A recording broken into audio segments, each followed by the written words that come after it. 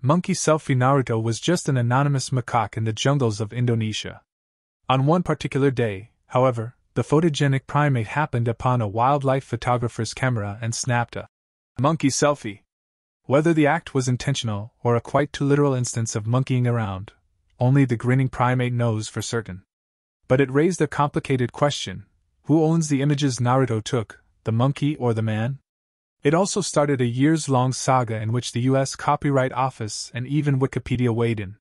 On Monday, People for the Ethical Treatment of Animals announced a settlement with photographer David Slater, ending a lawsuit it filed on Naruto's behalf.